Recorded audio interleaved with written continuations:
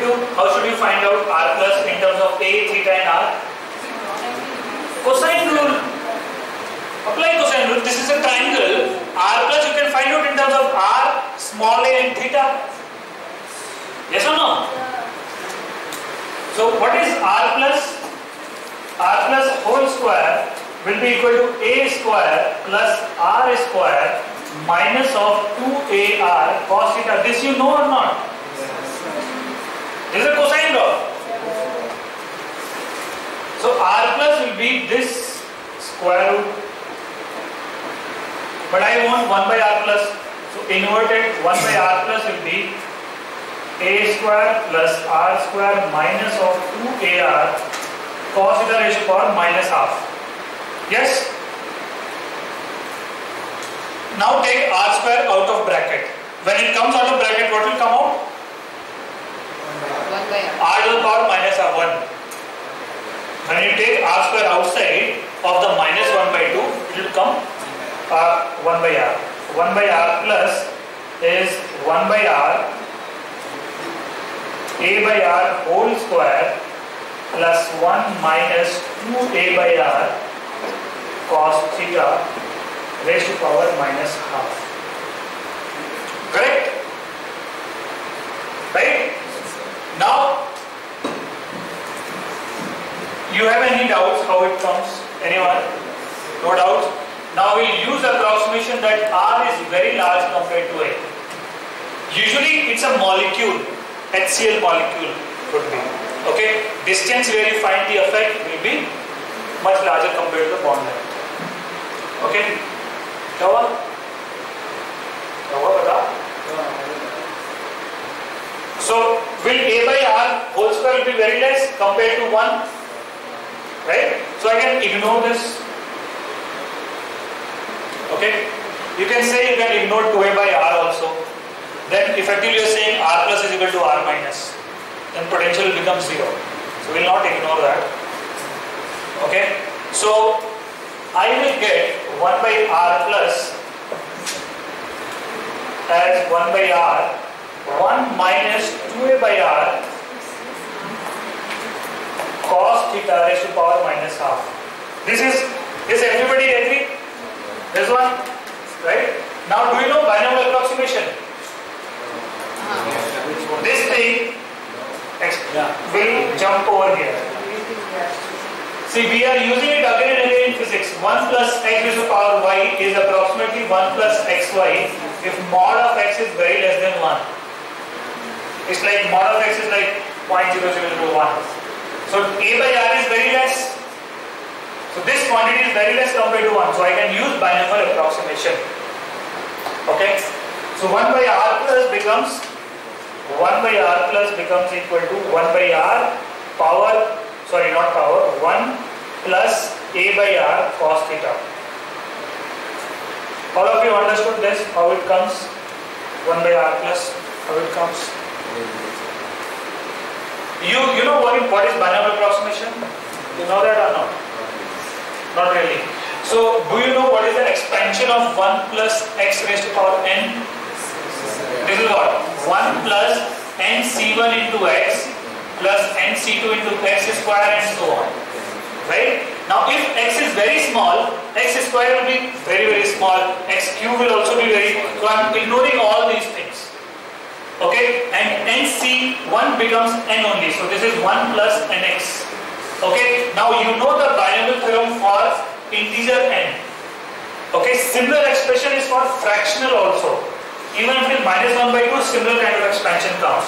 So I am ignoring all the higher orders of 2a by r cos theta. So square of that will come, cube of that will come. So anyway I have ignored once a by r whole square. So same thing, this is binomial approximation. Minus 1 by 2 is taken inside. So mi minus 2a by r into minus 1 by 2 becomes a by r. Understood all of you? Now this is 1 plus 1 by r plus. Can you tell me similarly what will be 1 by r minus? You can say that will be equal to 1 by r, 1 minus a by r cos theta. You can do the same thing. You can see here also. Rather than minus, plus will be here. Here will be plus, this will be plus, and then it will be minus over here. Okay, so you can write down similarly 1 by r minus is this. And then you substitute 1 by r minus and 1 by r plus Kang expression over here. On the equation number 1, if you substitute, you will get the potential. Fine? Get it now? How much you will get? Okay.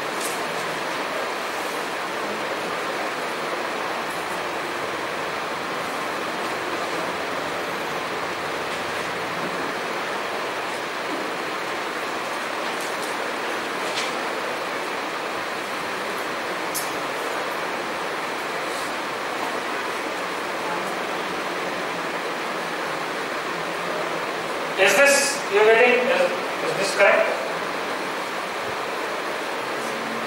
K q 2a by r cos you're getting? r square will also come. See here 1 by r is outside bracket. 1 by r into 1 by r. Fine? So can I write it like this? 2aq will become dipole moment. Okay? So I will write it like this dipole moment vector dot with r unit vector divided by r square. Dot will create cos theta. This is theta angle between r and p.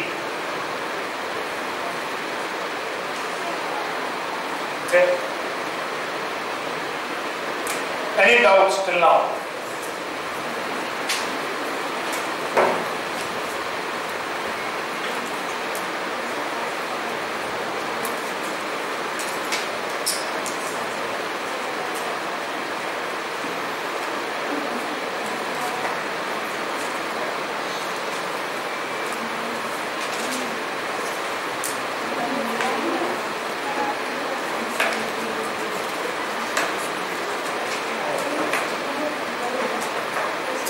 No doubts?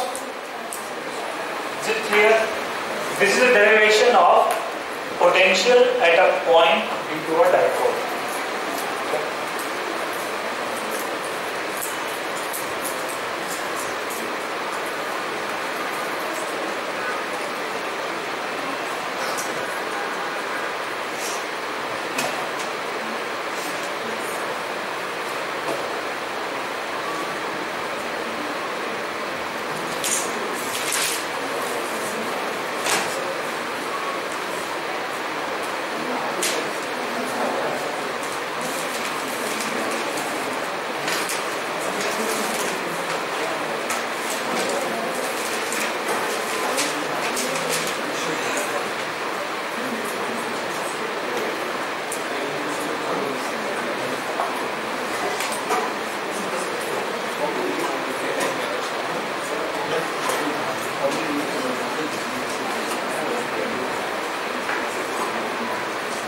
Write down. If you place charge in an external potential, potential energy gets created. Okay? Will the effect be same if I put a dipole in an external potential? Will there be a potential energy? Of course, dipole is made up of point charges only. So both the point charges will have some potential energy. It will add up or subtract and net net some potential energy will be there. Okay? So the derivation of that we are trying to do here. We are trying to find what is the potential energy of a dipole in some external field. Okay, external electric field if it is there, what will be its potential energy? Previous chapter we found the effect of external electric field as torque. Right? Torque is equal to P cross E. Now we are trying to find effect of external electric field as a potential energy. Okay? Once you know what is the potential energy, you can use work energy theorem. Okay? So suppose this is the dipole. This is minus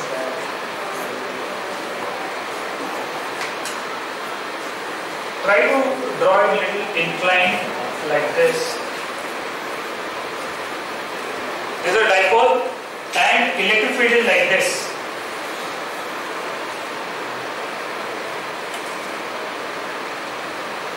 Okay? This is the electric field and the angle is theta.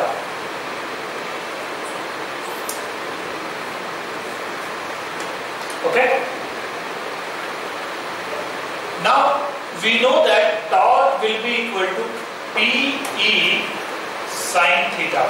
Any doubt about this? Torque will be equal to PE sine theta? No doubt? Okay? Now, do you know that the work done by the forces that are causing this torque will be equal to tau d theta integral? Do you know this or not?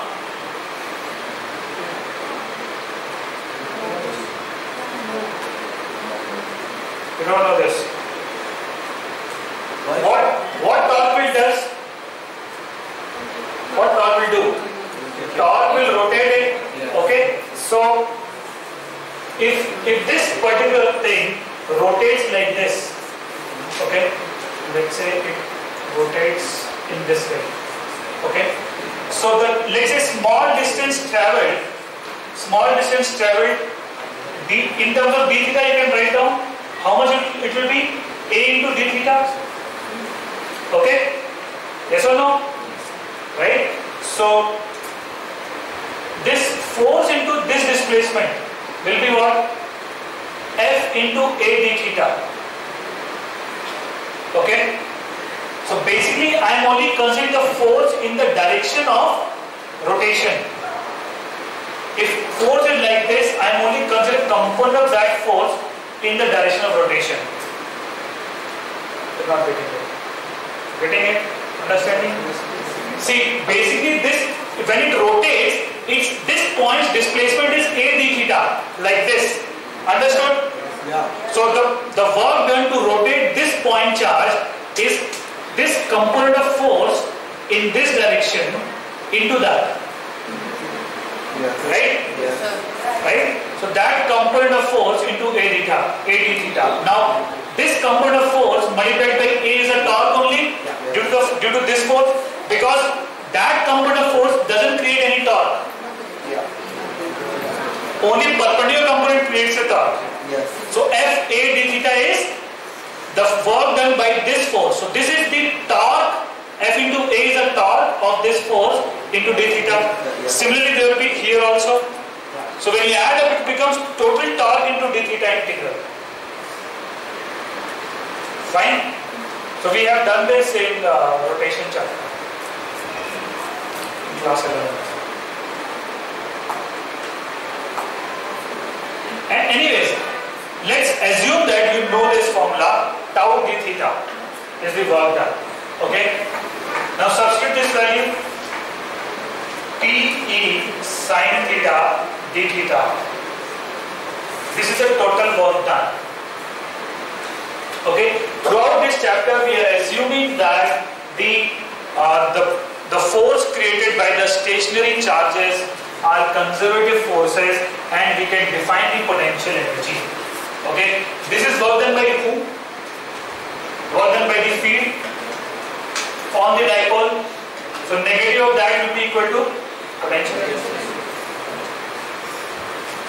Okay, so when I integrate, I will go from theta 1 to theta 2, let's say. Fine. So integral of sine theta d theta is what? Minus cos theta, right? So minus of PE cos theta, uh, 1 to theta 2. Now can you derive yourself and tell me what be the answer?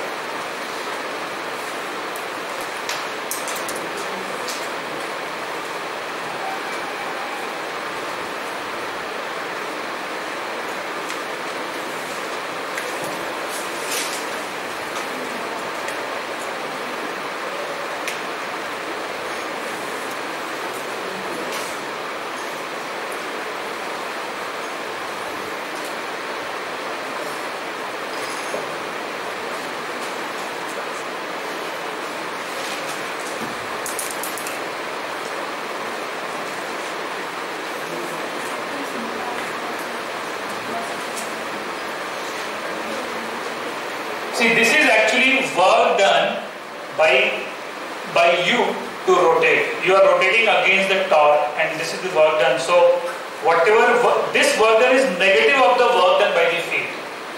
This is the work done by you to rotate against the torque, right? This is work done by you. This is not the work done by the field. Worry about that. This is the work done by you. Okay? If if you do not do the work, then it will gain some kinetic energy also. You have to make sure it slowly rotates. Okay? So negative of that will be equal to this only. So this should be equal to change in potential energy. Which is what? Potential energy at point 2 as in at theta 2 minus potential energy at theta 1. Okay? Now just like any potential energy, I have to define what is zero potential energy. Now if if theta theta 1 is 90 degrees, then I can say that potential energy at theta 2 minus potential energy at 90 degree is equal to minus PE cos theta 2. That's it. This will become zero if theta 1 is zero. Yes or no? Yeah. right? Now I will assume U90 to be zero. So I am assuming that potential energy when the angle between external electric field and dipole is 90 will be zero. Okay? So I can say that potential energy at theta 2 is minus of PE cos theta 2. So this you can also write as minus of P dot product with E. Fine. So potential energy of a dipole is minus of P dot E. Okay. Ah, any doubt?